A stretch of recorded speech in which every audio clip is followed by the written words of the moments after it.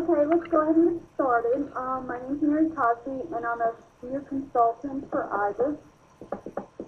This webinar is going to cover um, scheduling um, primarily on the production side, and we will talk. Um, most of it is going to be around the settings and the tools in AX um, to help us do the scheduling, and then we'll run a, a scheduling exercise you can see what it looks. Um, okay, and I am going to go ahead and mute the call, um, and then we'll take questions at the end. All right? Muted. Okay, so scheduling in AX 2012 is the topic of our com- of our webinar today, and basically just clearing up what scheduling is. Um, it involves coordinating elements of the production process to most um, optimize delivery dates. So what we're talking about here is you have a demand in the system. Um, I like to use the supply-demand analogy a lot.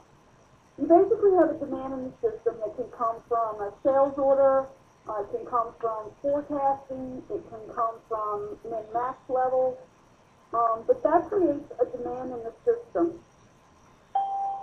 Now, based on the way you have the items set up, you can actually have different resources associated with the, the item that needs to be manufactured.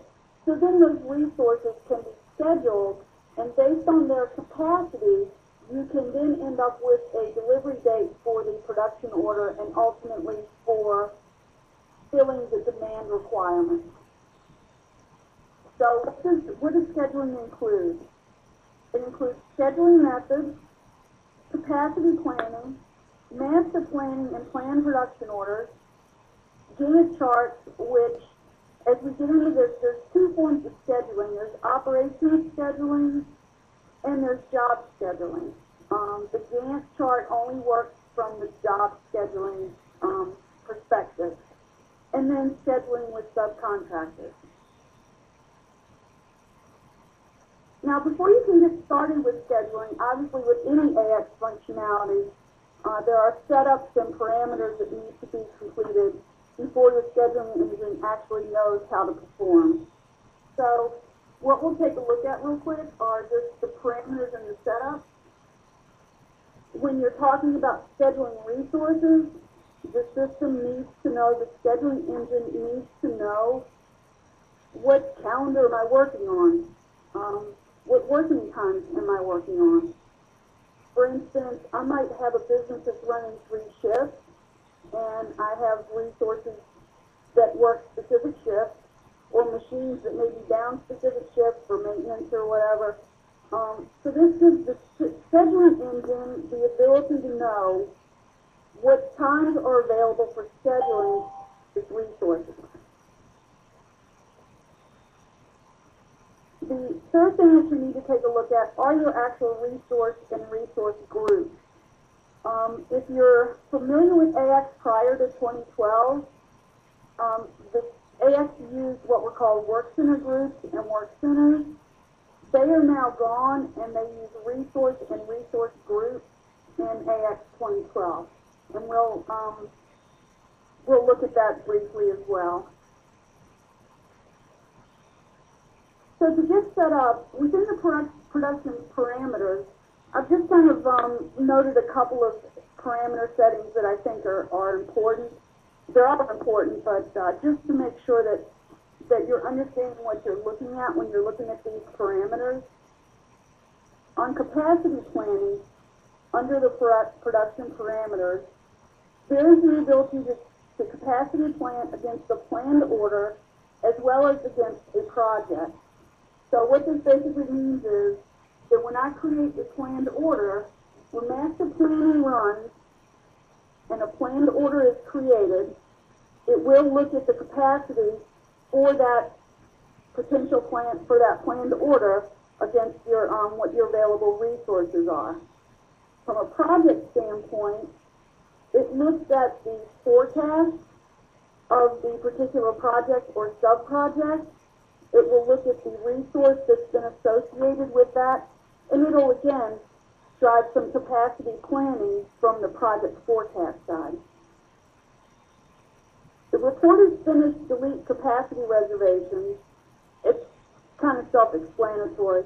When you do the report is finished transaction on a production order, it will go ahead and delete any reservations, capacity reservations, um, that are still pending for whatever reason on that production order. The scheduling method determines the default scheduling method for production. Um, this is basically where, and we'll go into this in a couple minutes. Um, there's two types of scheduling methods. There's operation scheduling and there's job scheduling. So this just basically sets the default for the system. Um, I'm not going to go through all of the switches on the production parameters, but obviously it's going to be important that those are reviewed and set based on the requirements for the for the uh, particular application that you're that you're setting this up for. Now, I talked about the three things, the parameters, the resource groups, and the calendars. This is basically looking at um, the resource and resource groups allow you to use your organization's resources um, efficiently and effectively when they're needed. There are two types of resources. There's scheduling resources, which is used on the production side, and you can also do some assigning resources on the project side through using activities.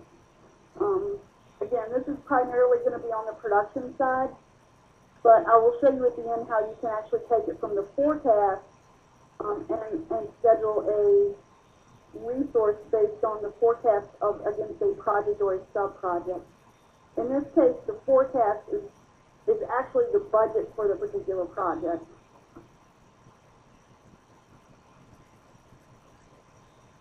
Okay, when we talk about resource and resource groups, in AX 2012, these are the different types of resources that there are. Uh, vendor is pretty self-explanatory. Human resources, that's your actual workers slash labor force. Um, machine, you can actually associate a machine to a resource. Um, and this is particularly important, important, I think, if you've got a bottleneck um, for a machine. Um, so you can assign the machines as well. If you've got a particular tool that you want to track from a resource uh, availability standpoint, um, equipment and location. Location is a new one, I believe, in AX 2012, and that's basically, uh, you know, it's basically a, a physical location on a production floor that um, you may need to reserve that space for a particular, um, you know, process that, that, that the production is going through and it needs, you know, it, it's got processes going in and out of it, and you want that location to be able to be reserved for um, a particular job that's coming through the line. Now, just, just to remind you that the work centers and work center groups in 2009 are replaced with resource and resource groups in, in 2012. Um, a couple of nice features that that brought about was that the resources can, may or may not have to be um, associated with the work center group. Prior to 2012, it had to be associated with the group, um, which meant that the resources were not necessarily um, flexible to be able to be used. In 2012, you can use a resource or you can use a resource group. Now, if you use a resource group, what the scheduling engine will do is it will look at all of the resources within that group and it will schedule based on availability of a resource within the group. So it gives you a broader, uh, broader spectrum, um, broader availability of resources that the scheduling engine will then go ahead and use um, resources within that group to schedule your particular job or operation. Um, because they're not associated, because they don't have to be associated with work center group, the works in a, the resources can be moved from one group to another.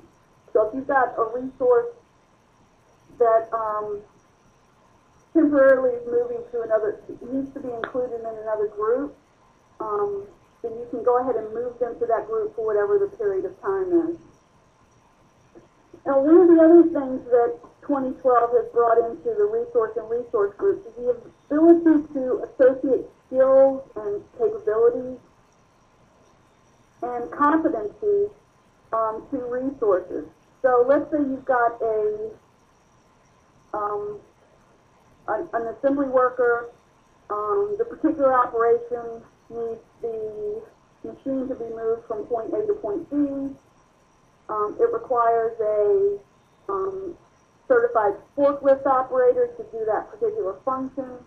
Um, this is kind of a simple example, but within skills and competencies and capabilities, you can flag that that particular person has that skill, um, has that certification, so that when you go to schedule an operation, in this example, it will pull the resource with that particular um, capability. So it allows you to go down to certifications and skills, things that people are specifically trained to do, um, to be able to schedule your resources um, better um, and more clearly as far as what their capabilities are. Uh, working uh, calendars and working times, this really didn't change much from 2009. Um, you basically got calendars, the period types, the templates, and the working time templates. Um, what I'm going to do is just um,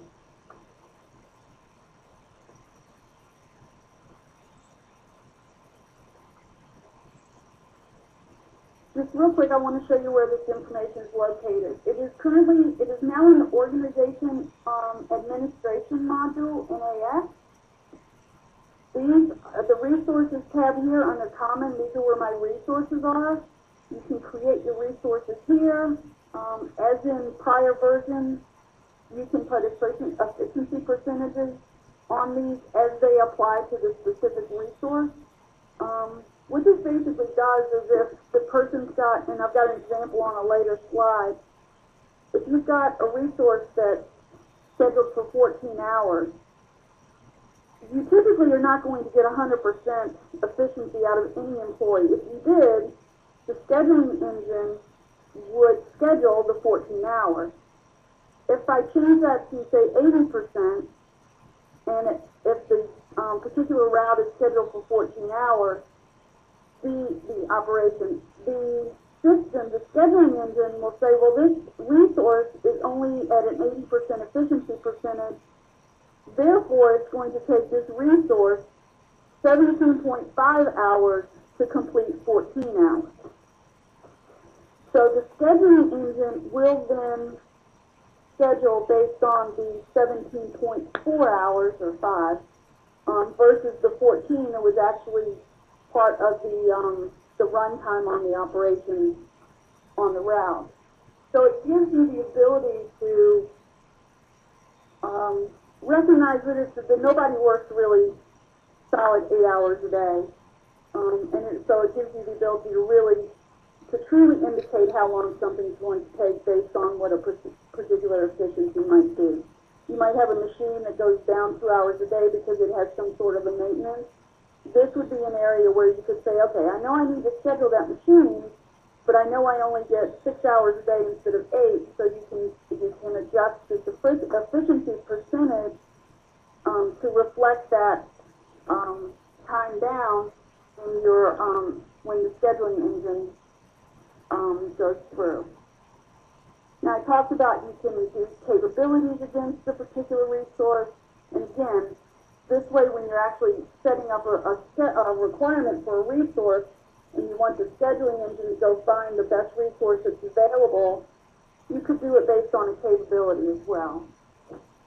Now, from my resource form, I can look at um, the particular capacity load for this particular um, resource, and you can see that he's actually reserved currently um, for eight hours each day, and if you look at the reference, this will actually tell you what type of job is scheduled. In this case, it's an operations scheduled job. and it's going to tell you what project is actually being, in this case, it's, um, it's a project that's being scheduled for this particular resource based on a forecast. So it's due in eight hours.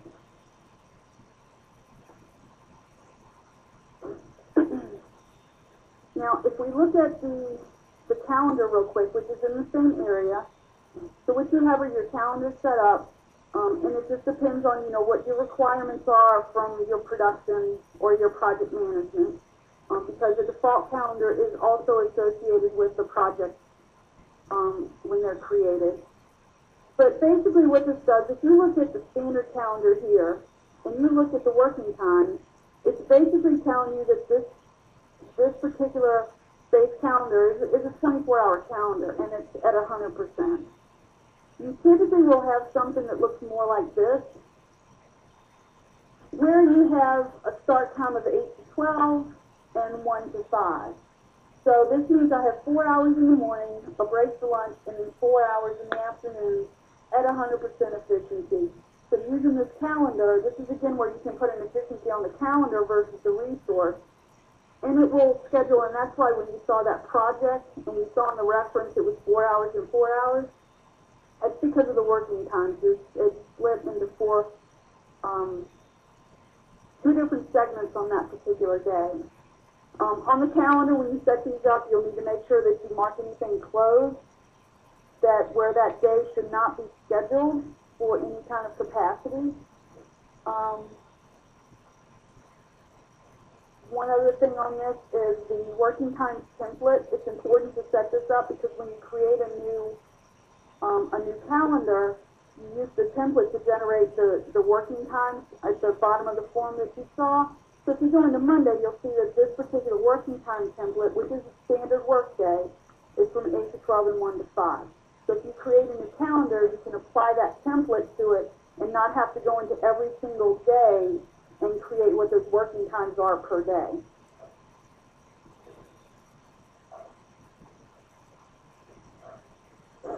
So this then is just, again, it's just a screenshot of the capacity load. Um, in this particular case, this particular capacity resource based on this plan um, is, is basically available. His capacity is 24 hours a day. He has 24 hours remaining that can be booked. So that's kind of the basics behind what needs to be set up in order for the scheduling engine to run. Um, obviously, you also have to have um, materials. Um, you need to have a an item or in 2012 a product set up with a bill of material um, and a route associated with that bill of material so that the system knows when it creates a planned order exactly what it's planning against. So if we just jump over here real quick, I do have an item set up. It's a very basic, simple item. It's now located in the product information management.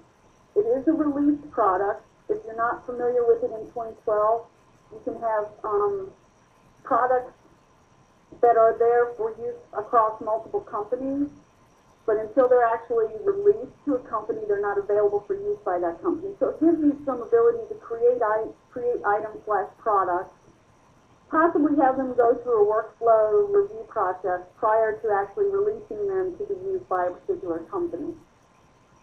Also in 2012, in case you, again, aren't familiar, there's a, when the form opens up, it, it opens up into this item number search, so I can just do a simple search and say, look for everything that starts with MC. And you don't have to do the, um, the asterisk or anything here. You just type what you're looking for, and obviously it's pulling anything where it finds MC in the item number. And you can also do a drop down and change what search you're doing on. But in this particular case, we're going to look at this particular particular item. And if we go into engineering and we go into the bill of material line, you'll see that I actually have an item on there. Um, nothing fancy, just uh, I think it's grill screws or something like that. But when I go into the route, I actually have just a simple route. I have it created here, the operation that I'm using, um, how much runtime it's going to take, what the process quantity is. And then on the resource requirements, you'll see that I'm using resource 00101. So now it knows when I'm scheduling what resource I want to use to schedule against this particular um, operation in the route. So that's the basics. Um, obviously, if I have a production order and I want to schedule resources against that production order, then the routes would be important to do that.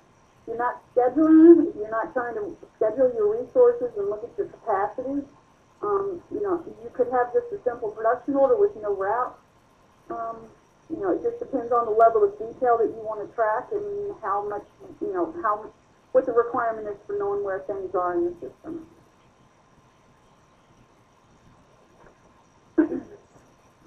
So the actual, the role of the scheduling system is to plan the actual production process in such a way that each, each operation in the production route is assigned its starting and ending date and time, and that the materials needed for production are available when the operation starts. so some of the concepts that you need to consider um, or you need to have an understanding of in 2012 when you're doing this include scheduling levels. There are two scheduling levels one is operation scheduling, one is job scheduling. We'll get into that. We'll get into all of these in a little bit more detail. Um, the scheduling direction, uh, whether it's finite or infinite capacity, um, what your efficiencies are, which we've already talked about that as far as your efficiency percentages, um, and whether or not finite materials are also uh, should also be considered when the scheduling engine runs. So first on the scheduling levels, there's two types again. There's operations scheduling and there's job scheduling. Um, operations scheduling is probably the most widely used. Um, it gives you a long-term, kind of a rough cut capacity plan, um, and it's just based on dates. If you get into job scheduling, that's more used for short term, and it does calculate both start and end times when the capacity, when the resource is reserved from for a capacity standpoint. So the job scheduling obviously is much more detailed uh, than the operation scheduling is. And if you remember from the parameters, you can um, establish and set what the default scheduling level should be. Now, from a scheduling direction standpoint, there's forward scheduling and there's backward scheduling. These are just a couple of simple illustrations that kind of show you can forward schedule it, which is the push method, uh, which basically says I want to schedule it forward, and you determine when you do the scheduling um, what that scheduling forward is based on. Typically, if you leave it blank, it's going to do whatever, it's going to be based on whatever the current date is. But you can, you can assign a scheduling date to the forward scheduling. You can tell it to look at the, um, the delivery date. In other words, you look at the, the date required on the production order and let it schedule based on that delivery date. Backward scheduling is the same concept. Um, it's the pull, it's what they call the pull method. And that basically is doing the reverse of that. So if I know that my delivery date is February 10th, um, and it's going to take two hours, and I backward schedule it from my, my requirement date, my delivery date the production order, then it's going to back it up and say, well, then you need to start probably, um, if it's eight hours a day, then you would need to, if my capacity is available or whatever it finds available to assign, it's obviously going to tell me to, to do the production on the 8th and 9th to make it available for the 10th. And that's a simple example, um, you know, based on whether or not there's any other um, factors in the system that might add some additional processing time.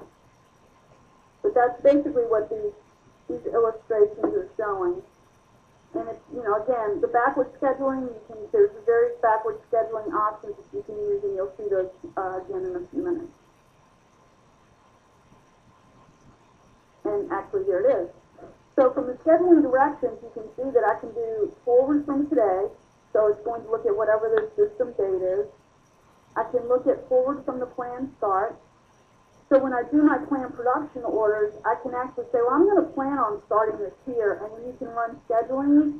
You can run the scheduling in, engine based on that planned start date, and then that would then help determine what my resources are available based on that particular start date.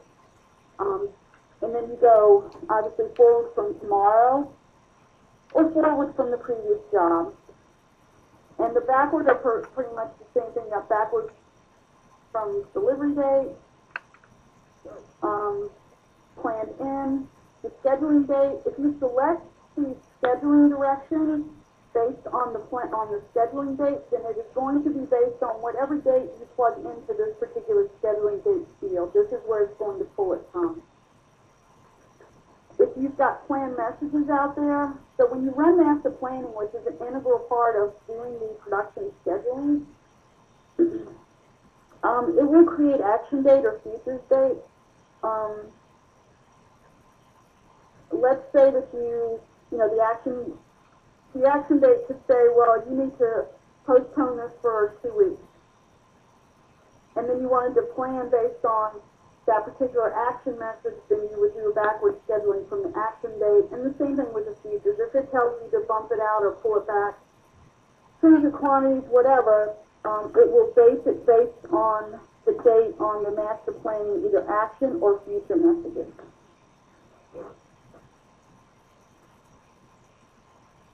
Now, one of the other things that we talked about that will affect your scheduling and your availability of resources. Remember, when it's scheduling, it's looking at the available resources, and it's saying based on what you have available from a capacity standpoint to do a particular production order, let's say, it's going to say, well, based on your available resources, then your delivery on this production order can be X. Now, when you're scheduling the resources to determine what that delivery date can be for that particular production order, which, by the way, will flow over into the what's driving the demand for the production order. So that would, in, in my instance, in my example, it would be a sales order. I have a sales order open for that MC BOM item, and it's driving the demand um, for this production order, which would then be the supply. So when I look at that particular production order and I'm trying to plan it and I'm looking at my resources, I can either do it with finite or infinite capacity. Um, is typically used if you have a bottleneck area that has absolutely restricted, cannot add any more capacity to it in order to be able to schedule that production. Infinite capacity gives, basically gives you the ability that you could add more resources if you needed to, um, to fill whatever the demand is that's being driven by the production order. So, bottom line, if you look at the, the little graph here, it'll actually show that you have reserve capacity. And if I want to schedule a new job, and my resource is based, and it's based on infinite capacity, then it'll just load it on top of what's already there. Um, you can look at it and you can reschedule and plan things. Um, but it, it gives you the ability to say, okay, I know I, I know I can pull some more resources in for that particular operation. Let me do that and schedule that particular resource. Um, versus on the finite capacity, it, you can't do that. If if it's finite capacity, it's basically saying I have limited capacity for this particular resource. I can't add any more to it, um, and therefore it doesn't just like lay it on top of what's already there, whether there's available time or not. With finite capacity, the time has to be there, it has to be available to reserve against that particular capacity.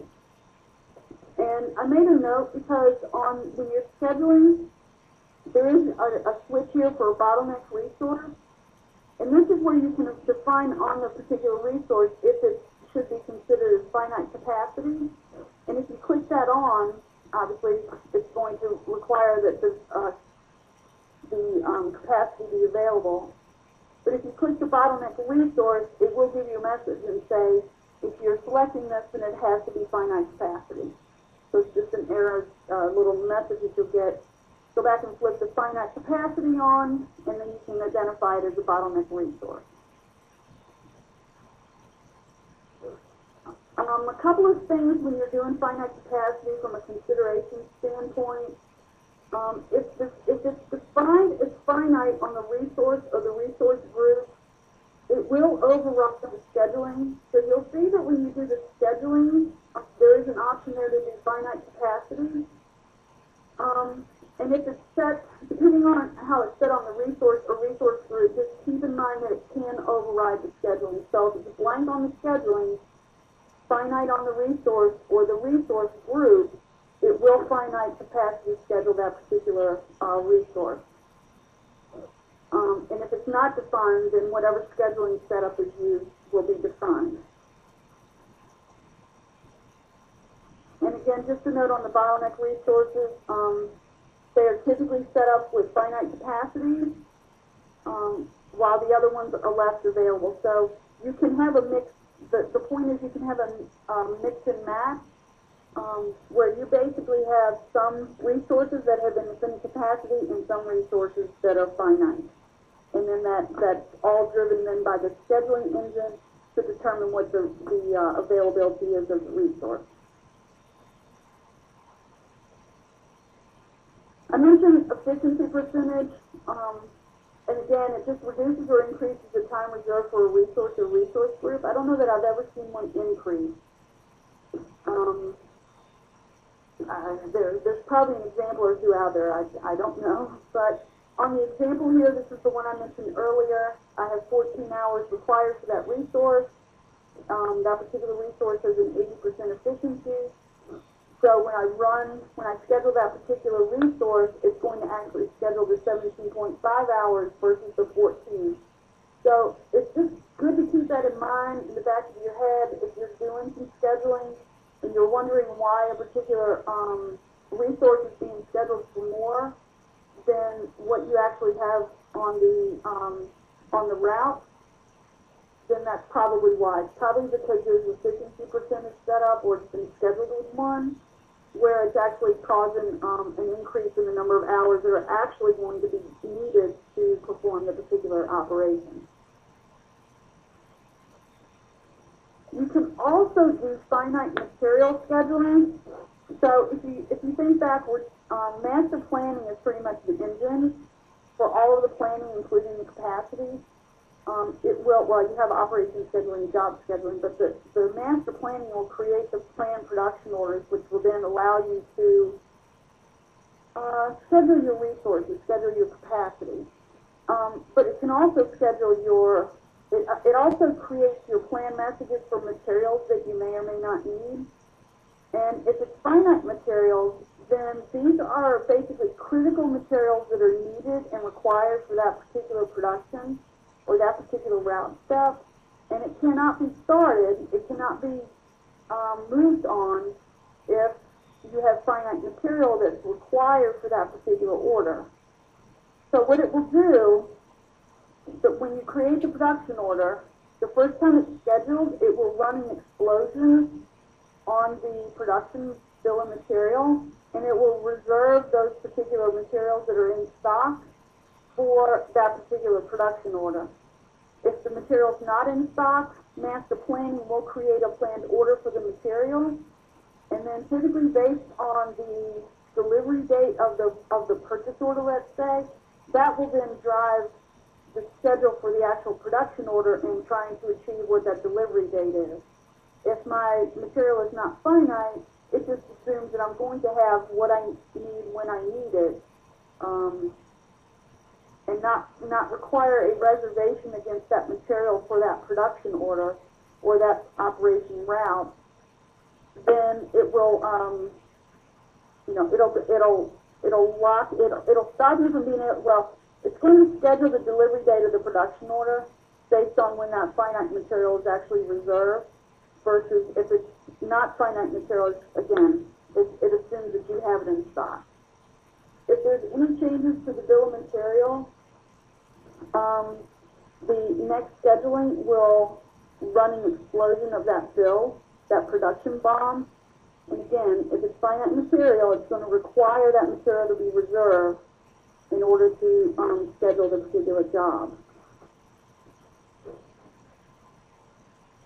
And just a note that I put in here, when optimizing on both capacity and material, it, production is calculated to meet both of the restrictions. So it's going to look at your capacity resource and your material resources if it's finite when it's scheduling the particular production order to come up with what your potential delivery date can be. So from operations scheduling, um, this is actually done, it can be, it can be done as an AX, you know, um, AX typically has multiple places where you can perform multiple functions. In the periodic, you can actually set up operation scheduling and or job scheduling. And then you can set these up in a batch, so they typically will run, you know, um, if you're running master planning to create your plan production orders and your plan purchase orders, that's typically done as a batch, it's done at night. Although you can set specific criteria where you might want to run, um, a particular, um, buyer group or coverage group during the day because you know that there's changes being made. But the operations and job scheduling can be done the same way, where you just set it up as a batch, and obviously you would set up whatever your, your, uh, reoccurrence is on that particular batch. This is where when you're running this particular operation scheduling, you can schedule references, you can synchronize references, and this is where your limitations, where you can say, I want to use finite capacity, finite material, um, keep the production unit, keep the warehouse from the resource, um, put in your scheduling direction, your scheduling date. These are all things that we've talked about for the most part. Schedule references um, is where sub-productions or other productions are scheduled. Um, and the synchronized references basically says if I'm running these particular, this particular production order, and let's say I have sub-orders against that, it will schedule those as well. But if I synchronize them, then it's basically, if you think about, I've got component um, A that needs to be in the finished goods production order, it's going to suit those to know that, well, I need to schedule and I need to deliver component A before I can deliver that component into um, my finished good production order from a, from a final assembly, let's say. So it actually allows it for the, the system to adjust and change the date for the subcomponents as well as the finished good um, component all at the same time. The, the outcome from operations scheduling is that the dates are displayed, so it will actually show you on the production order, let's say, that, that a, um, a production order has been scheduled and what the, the um, end date is going to be. Um, a reservation is automatically generated for the necessary work center. That should obviously be resource or resource group. Um, so that's where you can actually look at the capacity that's reserved for that particular resource. And the status of the production is changed to scheduled. So typically it goes from created to estimated to scheduled. And for those of you who may not know, if you go to schedule, the system will automatically run the estimation process. So typically when you jump a stage, um, the system doesn't ignore it. It will go back and perform that the, the requirements of that particular stage, but it allow it gives you more flexibility. And well, I don't need to go from created to estimated to scheduled. I'm just going to go to scheduled. The system will still perform the function um, of the estimated stage job scheduling, the, the form is pretty much the same.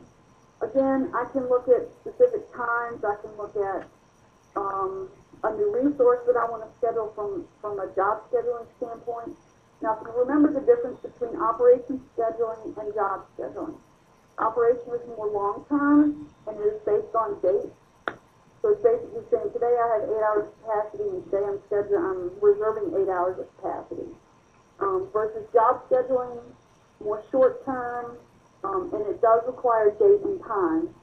So if I know that I want to schedule based on a particular time, I can see that in here as well. Um, scheduling limitations, finite capacity, finite material, finite property. Um, the ones I zeroed in on here were keeping the production unit. Um, you can have production units set up for grouping of resources, and you can have those particular uh, resources um, kept within those particular production units. And you can also keep the, the warehouse from a resource.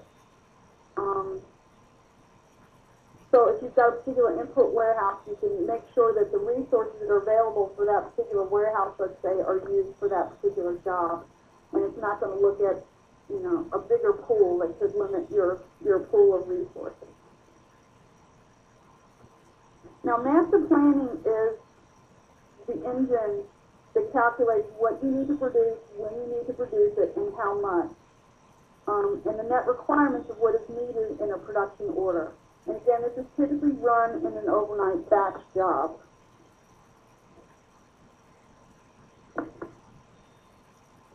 So if we just 12 here real quick, there is actually a master planning module.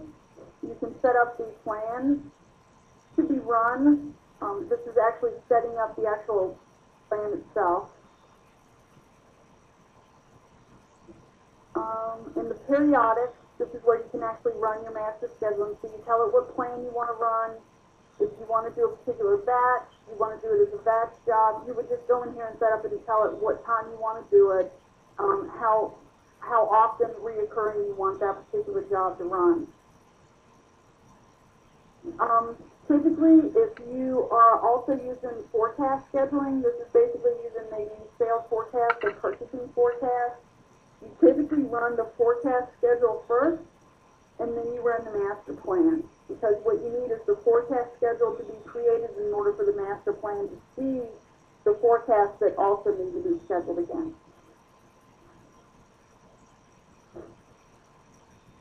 So getting into um, specifically production order planning, we've kind of gone through the requirements, um, the setups, the resources, the calendars, um, the different types of scheduling levels that need to be considered when you're setting up how you how you want to schedule your resources and schedule your jobs. Remember, everything goes back to this is my particular production order.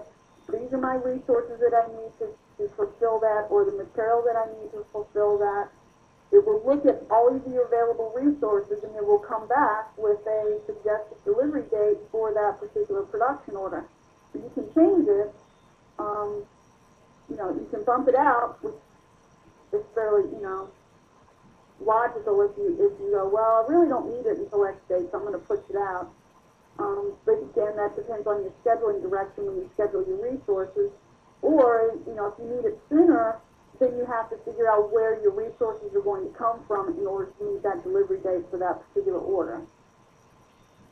So once master planning runs, it will create plan production orders that then you can actually run a scheduling against to see what your available resources are for that particular job.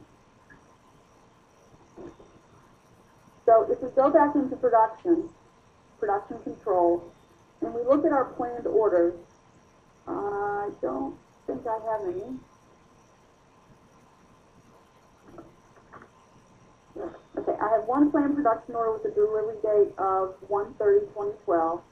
Now, if you remember when you're setting up your bill of material and you've got your um, your your route set up with your particular operation that needs to be done, you can actually see this from the actual planned production order.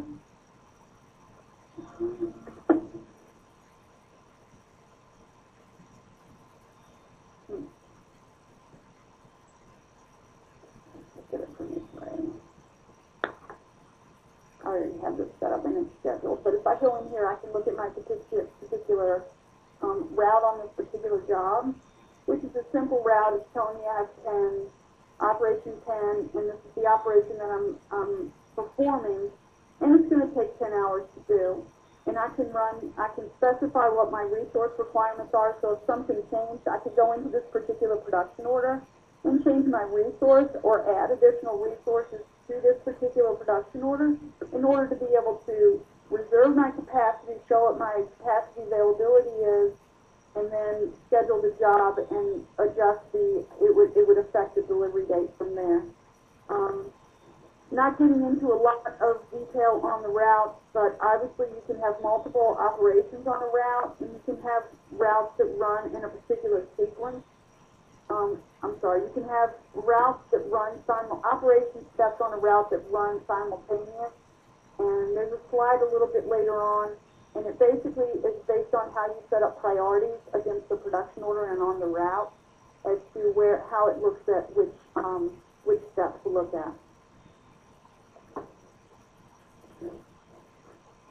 Okay, so in this particular case, let's go back to the route real quick. In this particular case, I'm using, um, my schedule is using, um, requirement one zero one, which is my, my speaker assembly team. But it's only one resource, it's not the whole group. If I was doing the group, then I could spread it out across multiple resources in the group, or just do it based on each one. Um, this job has actually been scheduled to a start of uh, 210.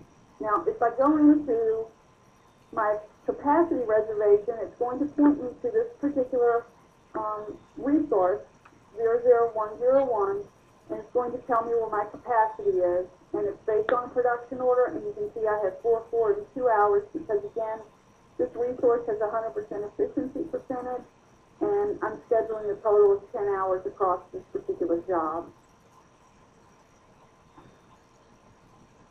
If I'm in a particular production order and I want to reschedule it, I can just go into the scheduling tab on the production order, schedule the operation, um, tell it what scheduling direction I want to use. So let's say I want to do it from the scheduling date, and I'm using my, um, move into this year. Let's say I'm going to schedule it to for 224. So if I run that schedule, now if I go back into that particular resource, um, I can actually click on the view and go into my capacity reservations. And as you can see now, it's telling me, well, my date is now 1224, and I'm going to do, remember I did forward from the scheduling date, so my scheduling date was um, 224, so it's basically saying I have eight hours of capacity on the 24th, and I'll finish it up on the 27th. Um, one other thing, talking about, going back to the whole master planning and the scheduling of, of creating plan production orders, um, from a net requirement standpoint, I can look at what is driving this particular sales order, this particular production order. So I actually have a sales order with a requirement date of 2-6, um, with a requirement date of 227 on my production order. So if I look at my messages, um, not turned on at the moment, but if I look at my messages, it should tell me to either bump this sales order out because I can't deliver it in time, or adjust my, look at my capacity, look at my availability, and adjust this um, production order back to um, where I can actually meet the delivery date. But if I look at this, I can probably, um, if I want to reschedule this capacity, um,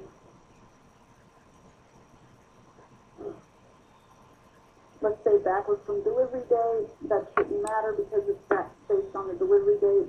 Then you can look at your resource and see that it should be telling me now that I'm going to deliver that. I need that resource available um, based on my delivery date. So it's adjusting based on what I think it should be doing.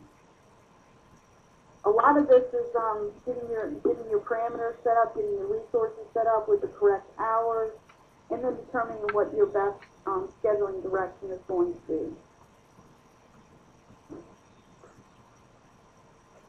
Um, you can, like I, I said earlier, you can go into periodic and you, run, you can run the job scheduling. You can go into production order planning, which remember these are the planned production orders that are recommended from master planning. And you can select work orders. You can see here, these are planned production orders that have been selected that I can then go ahead and run scheduling against those particular orders.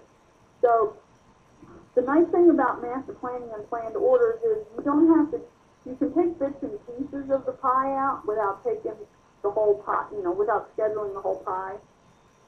So it allows you to look at particular delivery dates and go ahead and schedule those dates and then see where you have issues with your capacity.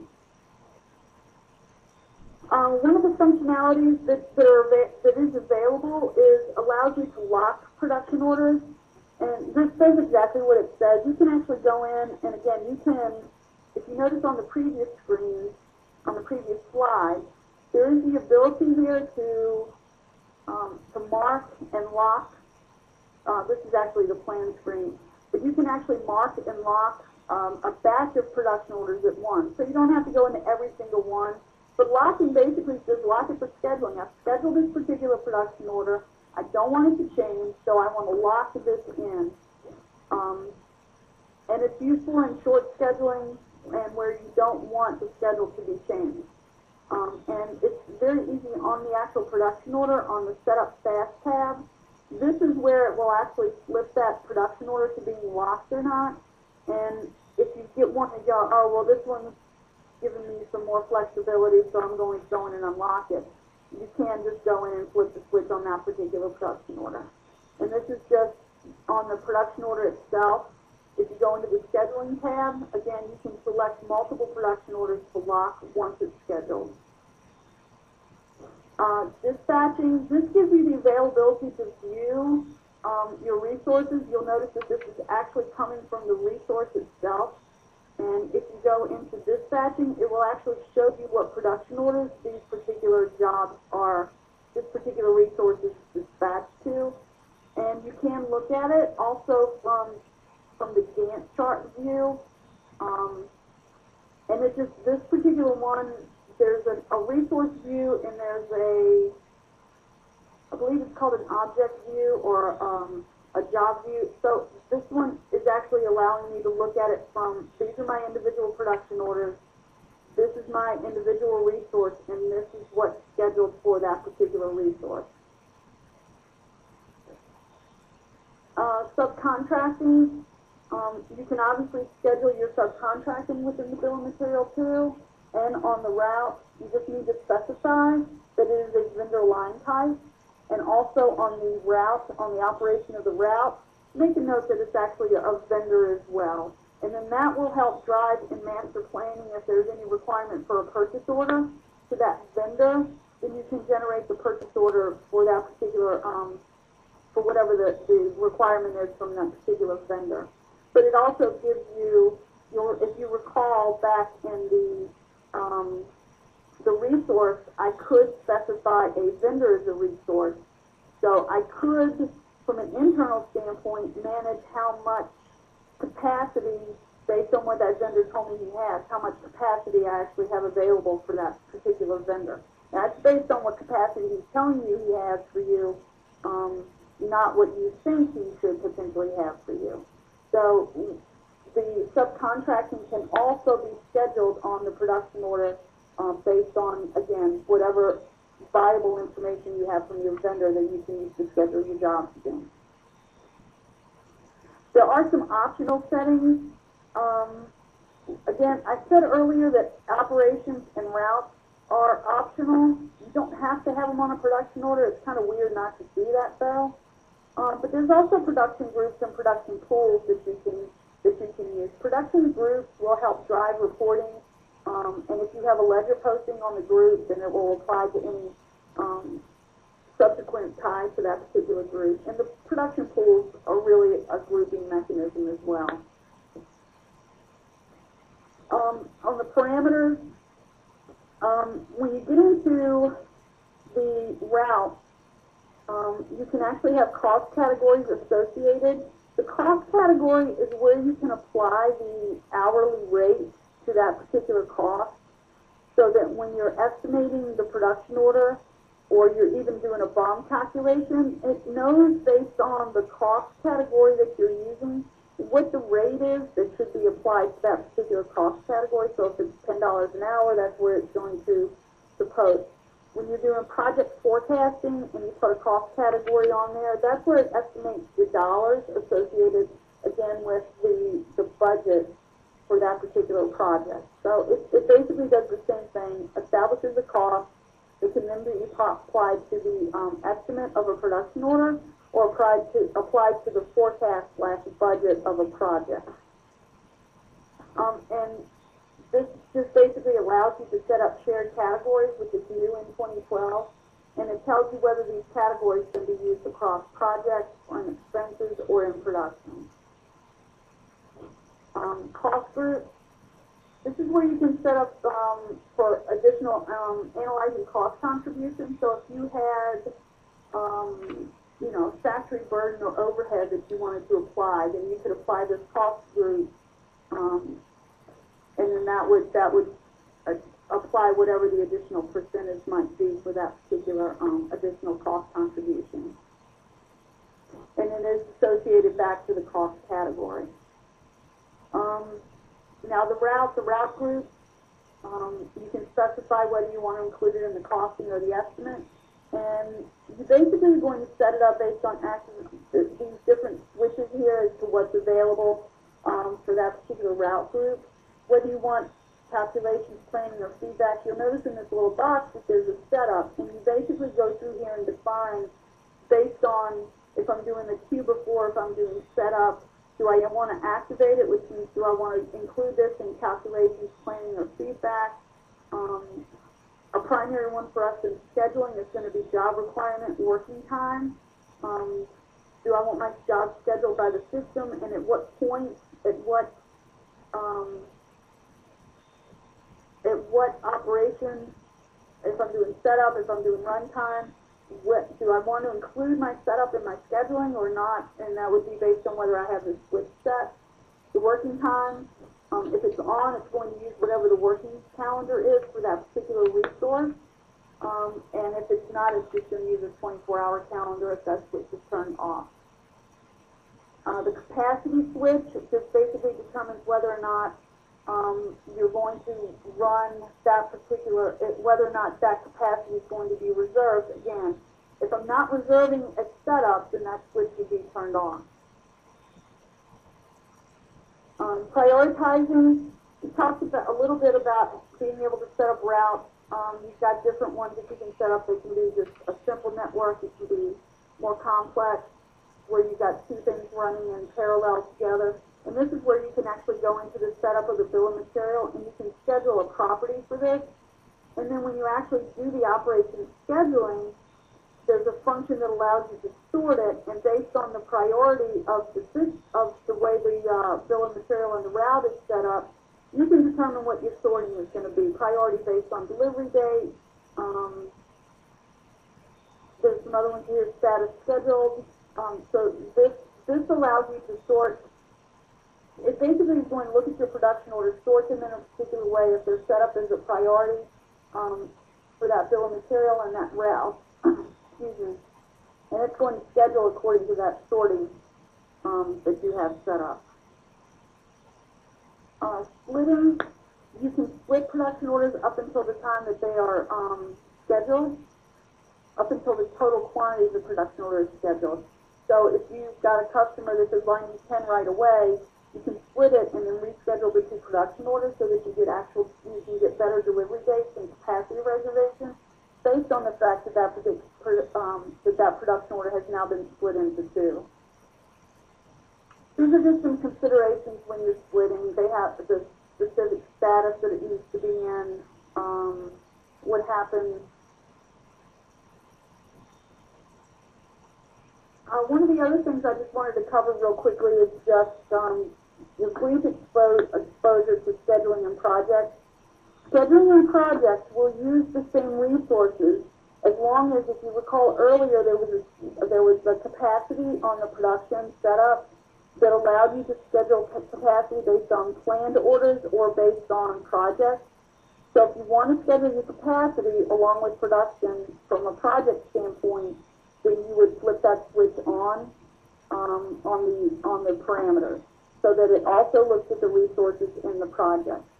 Again, projects are typically done um, where you've got a quotation that's got a forecast slash budget against it, and that can be pushed across to the project when the quotation is confirmed.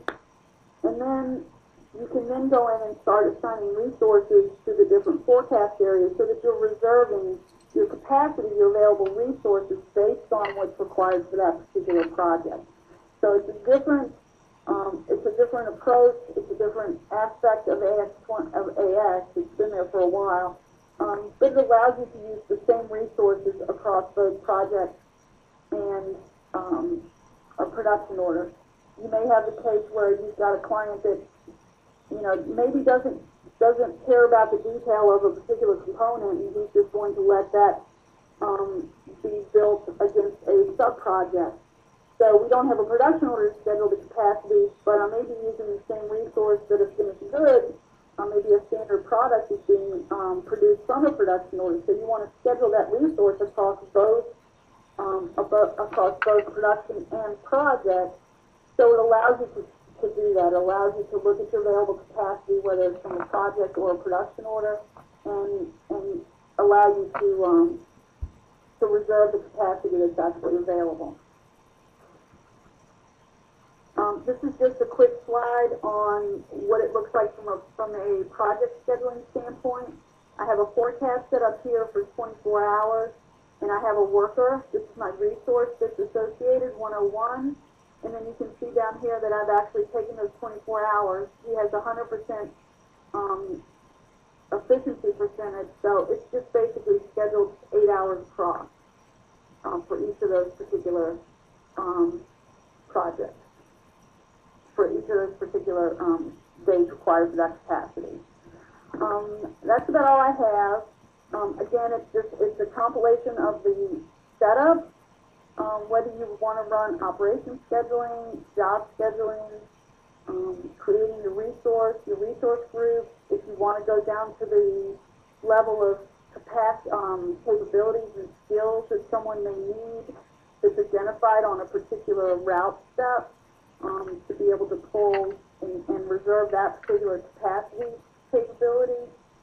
Um, you know, running the job or operation scheduling engine, and then running master planning also, and using all of those tools together to determine, um, you know, what my best delivery date can be based on what my capacity availability is. Um, and again, it goes back from, it, it encompasses both production and the project uh, management and accounting module to be able to reserve capacity, um, the same resource capacity across both when you're trying to schedule and determine what my best delivery date can be. All right, that's what I have. I, okay, then, um, if you do, if, if anything comes across your mind that you want to um, ask about, just the email address is on the screen. It's info at ibisinc.com, and we'll get back to you um, with the answer. Thank you, and um, have a good rest of your day. Bye.